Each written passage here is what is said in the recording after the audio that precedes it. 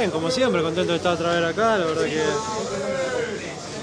eh, contento de empezar a preparar el partido, esperando lo mejor como venimos haciendo y esperando que sea bueno estos dos partidos alimentarios para nosotros. Es bueno que seamos casi siempre lo mismo, que se vaya, se vaya haciendo el grupo eh, fuerte, que nos vayamos conociendo, gracias a Dios los resultados también nos, nos acompañaron últimamente, que, que, es importante para trabajar con tranquilidad, así que, que esperemos seguir así. Sabemos que, Paraguay, más allá de que por ahí por resultados no llega en su mejor momento tiene grandísimos, grandísimos jugadores, que siempre es complicado, eh, después no es fácil de, de visitante a ningún lado, así que va a ser dos partidos muy difícil como son siempre las eliminatorias. ¿Se pusieron a charlar sobre Paraguay y demás o ya de a poquito empezar a laburar, a acomodarse, ver los compañeros nuevos? No, no, esto es el momento que el técnico da la lista, que ya están todos pensando en el partido, en el entrenamiento, en hacer lo que pide el entrenador.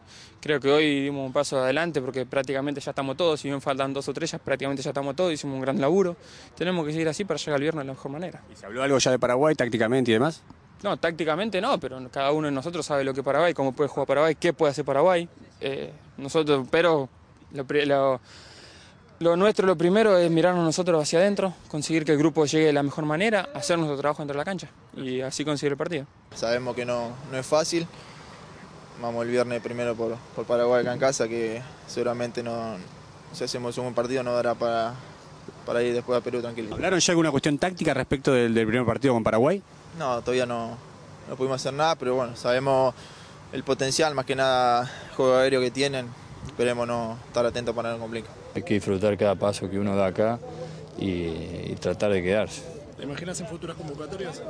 Ojalá que sí, ojalá que sí, que, me, que pueda demostrar en entrenamiento y si me toca jugar, que, que, que estoy, que puedo estar para, para estar en este grupo. Las sensaciones, digo, de este momento, ¿pudiste hablar con Sabela, pudiste hablar con jugadores por ahí con, con más trayectoria en la selección y que te transmitan algo? No, bien, bien, con Sabela todavía no he hablado, por ahí con los chicos contando cosas, la verdad que, que muy bien, me han tratado muy bien, a pesar de que por ahí no me conocen mucho, que no he jugado acá en Argentina, pero la verdad que un grupo bárbaro y me han integrado bien. Y esto te llega en el momento mejor de tu carrera, ¿no? Eh, por madurez, por nivel. Sí, sí, yo creo que me, uno de los mejores momentos de mi carrera, por eso digo que tengo que aprovecharlo y, y demostrar también por qué me llamaron.